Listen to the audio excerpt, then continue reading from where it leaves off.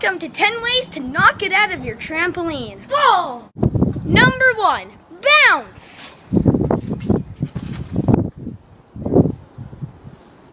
Number two, climbing.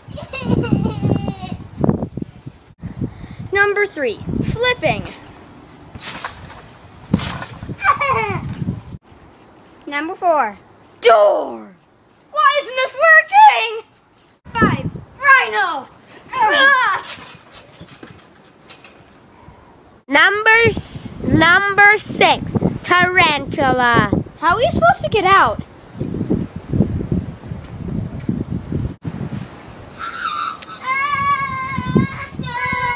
Number seven, trying to fly. Number eight, try to launch yourself out of the net.